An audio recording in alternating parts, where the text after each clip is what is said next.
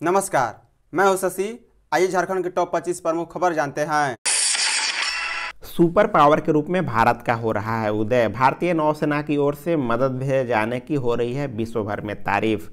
Iran समर्थित आतंकी संगठन हाउती की ओर से शुक्रवार को अदन की खाड़ी में ब्रिटिश तेल टैंकर एमवी मार्लिन लुआंडा पर हमले के बाद भारतीय नौसेना की ओर से तुरंत मदद भेजे जाने को लेकर भारत की तारीफ़ हो रही है।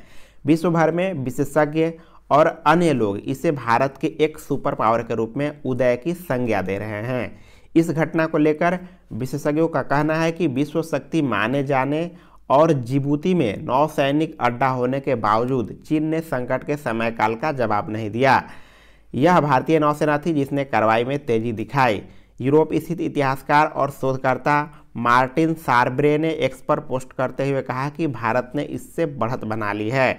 महाशक्ति का उदय हो रहा है। ईडी के खिलाफ सड़क पर उतरे झामुमो कार्यकर्ता, पुलिस ने राजभवन से पहले रोका।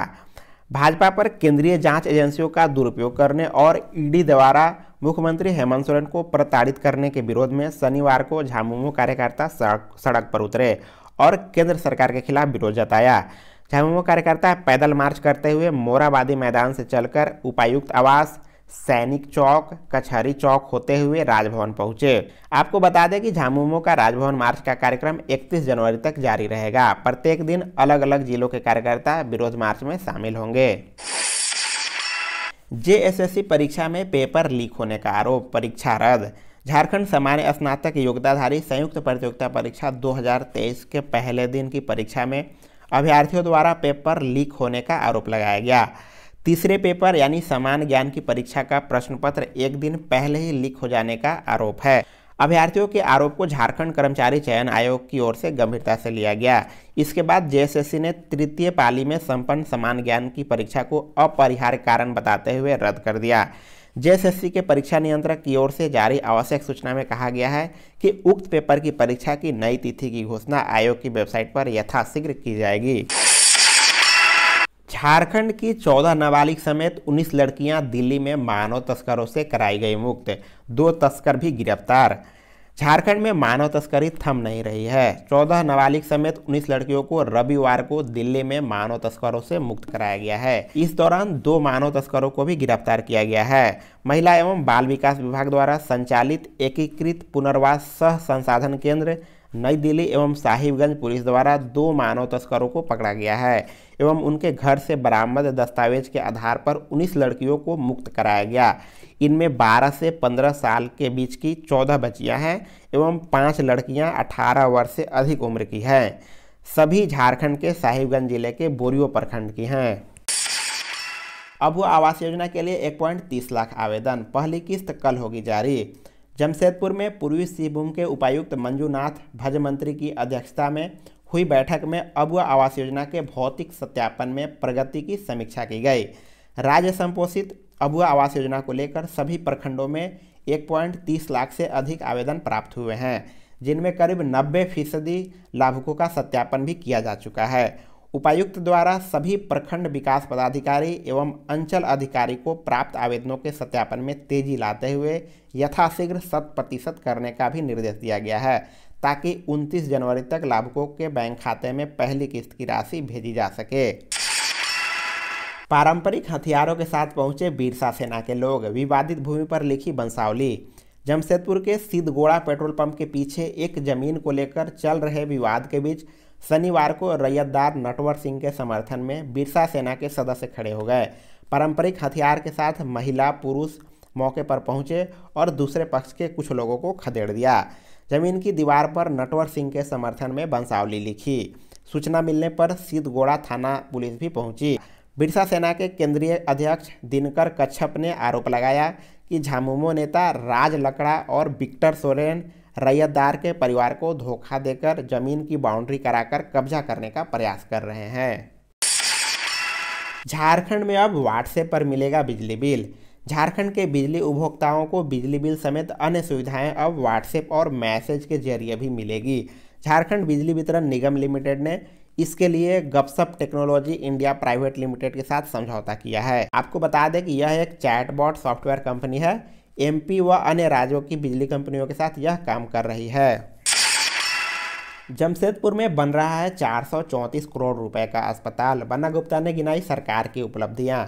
स्वास्थ्य मंत्री बन्ना गुप्ता ने कहा कि झारखंड की हेमंत सोरेन सरकार सभी वर्गों के कल्याण के लिए कृत संकल्पित है। लोक कल्याणकारी योजनाओं का लाभ समाज के अंतिम पैदान में खड़े व्यक्ति तक पहुँचा रही है। जमशेदपुर में चार सौ चौंतीस करोड़ रुपए के सुपर स्पेशलिस्ट अस्पताल बनाया जा रहा है। इसका निर्माण जल्द पूर्ण कर लिया जाएगा और शहर में जाम की समस्या को दूर करने के लिए भी जल्द ही फ्लाईओवर का निर्माण भी किया जाएगा।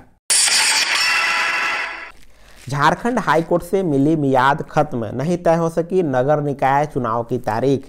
हाईकोर्ट द्वारा झारखंड में निकाय चुनाव की तारीख घोषित करने के लिए दी गई तीन सप्ताह की मियाद 25 जनवरी को समाप्त हो गई। हालाँकि, अब तक राज्य सरकार ने चुनाव कराने से संबंधित कोई भी फैसला नहीं किया। आपको बता दें कि राज्य सरकार न्यायालय के फैसले के विरुद्ध अपील में भी नहीं गई है। इसी वर्ष 4 जनवरी को झारखंड हाईकोर्ट ने राज्य में नगर निकायों के चुनाव की तारीखों का ऐलान तीन हफ़्ते के भीतर करने का आदेश दिया था। कोर्ट ने टिप्पणी की थी कि चुनाव नहीं कराकर राज्य सरकार ने संवैधानिक और स्थानिक ब्रेकडाउन कर दिया है। बावजूद इसके न्यायालय के आदेश का पालन राज्य सरकार के लिए अब तक संभव नहीं हो सका है। झारखंड में 31 जनवरी से फिर से बदले मौसम का मिजाज, हो सकती है बारिश। राज्य में मौसम का मिजाज एक बार फिर से बदल सकता है। 31 जनवरी और 1 फरवरी को बारिश होने की संभावना है। 2 फरवरी से मौसम साफ़ होने की भी संभावना है। मिजाज बढ़ने से न्यूनतम तापमान चढ़ सकता है और अधिकतम तापमान में कमी हो सकती है। इससे ठंड का एहसास ज़्यादा होगा। मौसम केंद्र के अनुसार 29 जनवरी से आकाश में बादल आ सकता है। इससे न्यूनतम तापमान 29 और 30 जनवरी को चढ़ सकता है। 31 जनवरी को राज्य के दक्षिण तथा निकटवर्ती मध्य भाग जैसे बोकारो, रामगढ़, रांची, चाईबासा, जमशेदपुर, सरायकेला, खरसावां गुमला सिमडेगा में कहीं कहीं हल्की बारिश हो सकती है। एक फरवरी को राज्य के उत्तर पूर्वी तथा दक्षिण तथा निकटवर्ती मध्य भाग जैसे बोकारो, रामगढ़, रांची चाईबासा जमशेदपुर, सरायकेला, खरसावां, गुमला सिमडेगा, गिरिडीह, धनबाद, देवघर, जमताड़ा, दुमका, पाकुड़, गोड्डा साहेबगंज में कहीं कहीं हल्की बारिश हो सकती है। रांची के एचईसी आवासीय परिसर में आज बंद रहेंगे बाज़ार व स्कूल। जारी है एचईसी कर्मियों का आंदोलन। झारखंड की राजधानी रांची में एचईसी कर्मियों का आंदोलन जारी है। 20 माह के बकाए वेतन, भुगतान व एचईसी चलाने को लेकर, रोड मैप देने सहित अन्य मांगों को लेकर एचईसी कर्मियों का आंदोलन रविवार को बीसवें दिन भी जारी रहा। एचईसी बचाओ जन संघर्ष समिति के आह्वान पर 29 को एच आवासीय परिसर बंद रखने की घोषणा की गई है। एच बचाओ जन संघर्ष समिति के मनोज पाठक ने कहा कि सभी वर्ग के लोगों से मातृ उद्योग एच को बचाने में सहयोग की अपेक्षा है। इसके लिए हो रहे आंदोलन में सबका समर्थन चाहिए। इसे लेकर कर्मियों ने आवासीय परिसर में रविवार को जनसंपर्क अभियान चलाया। इस दौरान इलाके में बाज़ार व स्कूल बंद रहेंगे। सौ करोड़ से रांची एयरपोर्ट की बदल रही है तस्वीर। फ़्लाइट में स्टूडेंट को 25 किलो तक सामान ले जाने की है छूट। सांसद संजय सेठ ने कहा कि रांची एयरपोर्ट पर यात्रियों की सुविधाओं को ध्यान में रखते हुए 100 करोड़ की लागत से विकास के कार्य किए जा रहे हैं। एयरपोर्ट के अंदर पहले तले का विस्तारीकरण किया जा रहा है ताकि 500 से 600 लोग आराम से बैठ सकें। लाइब्रेरी एवं कैंटीन समेत कई अन्य सुविधाएँ भी दी जाएगी। केंद्र सरकार द्वारा स्टूडेंट के लिए फ़्लाइट में 25 किलो तक का सामान भी ले जाने की छूट दी गई है। उन्हें सिर्फ़ कॉलेज का आईडी कार्ड इसके लिए दिखाना पड़ेगा। केंद्र सरकार द्वारा एक और व्यवस्था की, की गई है कि जिन यात्रियों की फ़्लाइट अगर किसी कारणवश छूट जाती है तो अब पैसे भी नहीं कटेंगे। उसी कंपनी की फ़्लाइट से उन्हें दोबारा गंतव्य स्थान तक भेजने का प्रावधान किया गया है।